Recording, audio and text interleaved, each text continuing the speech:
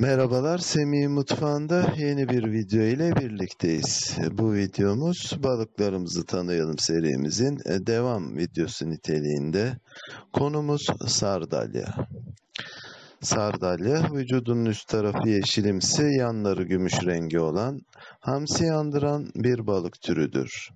Pulları çok kolay dökülen sardalya, aynı zamanda avlandıktan sonra en kısa sürede bozulan balık türlerinden biridir. Bu yüzden ya en kısa sürede dondurucuya koymak ya da tüketmek gerekmektedir. Sürüler halinde yaşayan sardalya balıklarına eski zamanlarda ateş balıkları denmektedir. Boyları ise ortalama 25 santim civarıdır. Hamsinin yakın akrabası sardalya sürüler halinde yaşar ve kıyılar boyunca göç eder. Hamsi gibi ticari değeri çok yüksek bir balıktır. Kurutularak, tuzlanarak hatta balık yağı ve balık unu elde etmekte kullanılır. Sardalya adı konserve işleminden dolayı konserve ile özdeşleşmiştir. Hatta ringa konservesine de aynı ad verilir. Sardalya Akdeniz'de 15-20 santim dolaylarındadır. Okyanusta ise 30 santim kadar büyürler. Hamsi Karadeniz için neyse Sardalya'da Portekiz, İspanya'nın Atlas Okyanusu kıyıları, Sicilya ve Malta için aynı şeydir. Bu ülkelerde birçok yemek sardalya üzerine kurulmuştur. Ülkemizde Kuzey Ege'de bolca yakalanan sardalyanın en lezzetli mevsimi Temmuz ile Ekim aylarıdır. Yeşil üzerine mavi beneklere sahip sardalya balığı hamsiden sonra en çok tüketilen balıktır.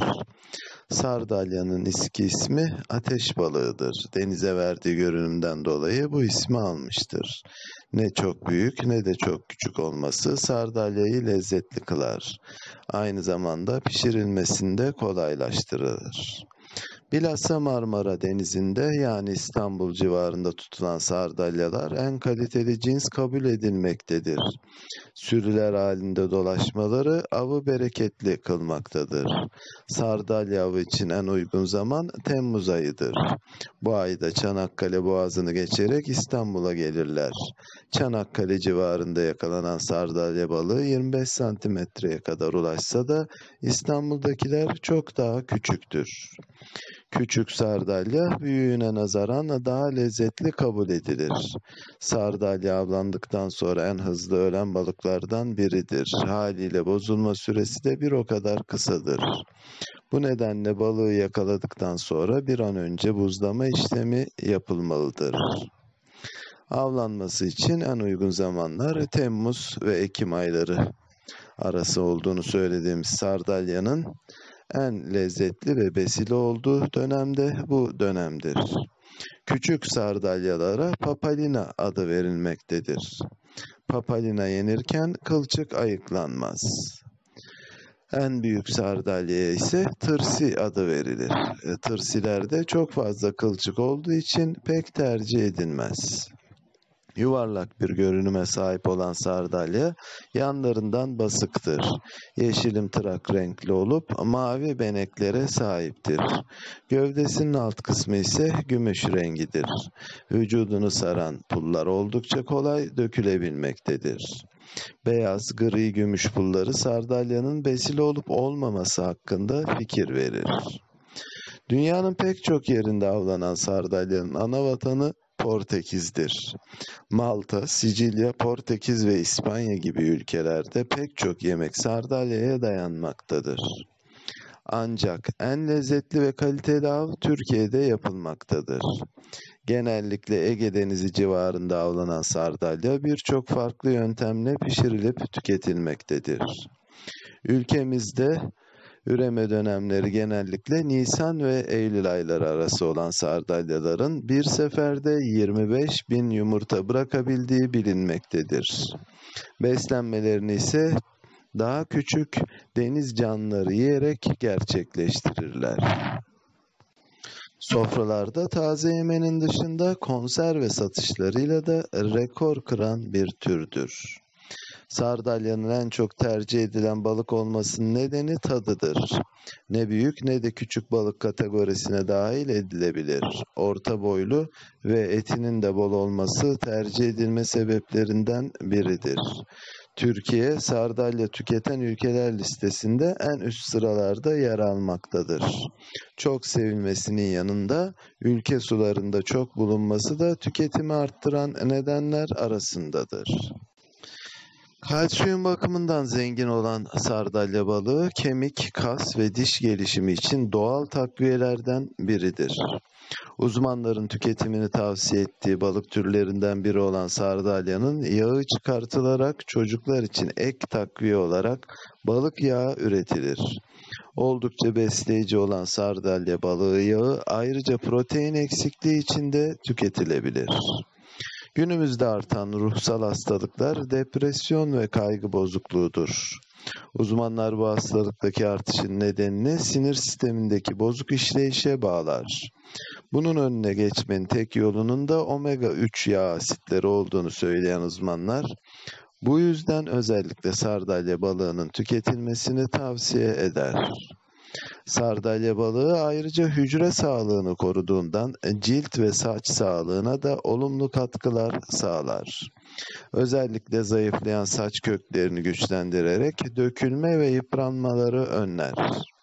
Balık türleri arasında en fazla yağa sahip olan sardalya, vücudun birçok eksikliğini kısa sürede tamamlayan nadir besinlerden biridir. Bu yüzden uzmanlar haftada en az iki defa tüketilmesini önerir. Yağ değeri yüksek olan sardalya, hem cildiniz hem kalbiniz hem de yaşlanmamanız için tüketilmesi gereken balıkların önde gelenlerindendir. Bunun dışında kan şekerini dengede tutması nedeniyle çok çok faydalıdır. Sardalya balığı faydalar arasında kilo vermeye ve fit kalmaya destek olması önemli bir özelliğidir. Diyet listenize sardalyalı tarifleri eklemeniz yararınıza olacaktır. Sardalya yağı ve un yapımı içinde avlanan bir balık türüdür. Bu özelliği sayesinde ekonomide balıkçılığın önemini arttırır. 100 gram sardalya tüketmeniz 20 ila 25 gram kadar protein almanızı sağlar. Proteinler hücrelerin temel yapısını sağlarken organların hasan gölge kısımlarının tamir edilmesinde de yani yenilenmesinde önemli rol üstlenirler. Sardalya balığı protein, D vitamini, omega 3'ü bir arada zengin miktarda barındırması açısından bağışıklığın da güçlü olmasına yardımcı olan bir balık çeşididir. Sardalya aynı zamanda potasyum, fosfor, magnezyum, selenyum, iyot ve B12 vitamini açısından da hatırı sayılır şekilde zengindir. Serbest radikalleri ortadan kaldıracak yüksek antioksidan etkisiyle beraber bağışıklık sistemini güçlendirir.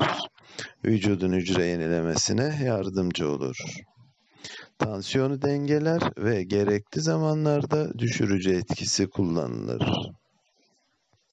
Sardalya farklı yöntemler üzerinden ele almak suretiyle tüketilebilir. Bu konuda genelde iki farklı seçenek ön plana çıkmaktadır. Bunlardan biri kızartma, diğeri ise buğulamadır. Her ne kadar sardalya kızartma üzerinden daha çok tercih edilse bile sağlıklı bir kullanım için buğulama önerilir. Sardalya tüketmek adına en doğru pişirme yöntemlerinden biri buğulamadır. Bu sayede içeriğindeki vitamin ve mineral ile protein kaynakları çok daha etkin bir şekilde aktarılır. Bu konuda fırında sardalya buğulama yöntemini kullanmak suretiyle sağlıklı bir şekilde değerlendirmek mümkündür. Sardalya balıklarını pişirmeden önce düzgün bir şekilde hazır hale getirmek çok önemlidir. Öncelikle balığı kuyruğundan tutmak suretiyle pullarını dikkatli bir şekilde temizleyin. Özellikle balığının etinin zedilenmemesi adına pulları dikkatle temizlenmesi gerekmektedir. Balığın karnına çizik atmak suretiyle ortadan ikiye dikkatli bir şekilde kesin. Aynı şekilde iç organlarını dikkatli bir biçimde dışarı çıkarın. Son olarak balığı bol su ile yıkamak suretiyle hazır hale getirebilirsiniz. Tüm bu işlemlerin ardından pişirme yöntemine karar verdikten sonra balığı hazırlayabilir ve afiyetle tüketebilirsiniz. Sardalya balığının Erdek, Gelibolu ve Kuzey Ege Saros tarihinde çok önemli bir yeri vardır. Bölgedeki Trakya halkları antik paralarına dahi bu balığın resmini koymuşlardır. Günümüz Gelibolu şehrinde Sardalya Festivali düzenlenmektedir ve Gelibolu'da Sardalya konservesi yapıp satılmaktadır. Gelibolu denince akla iki şey gelir. Birincisi Gelibolu savaşları, ikincisi Sardalya balığıdır. Evet, Semih'in mutfağında balıklarımızı tanıyalım serimizin bu bölümünde konumuz sardalya balığıydı. Sardalya balığı hakkında seslendirme metnimiz dışında akan yazılarımızda birçok daha farklı bilgiye ulaşmanız mümkün olacaktır. Önemli takip etmenizi videomuzu dikkat çekenler için öneririm. Bir başka videomuzda görüşmek için Semih'in mutfağından hoşça kalın, esen kalın.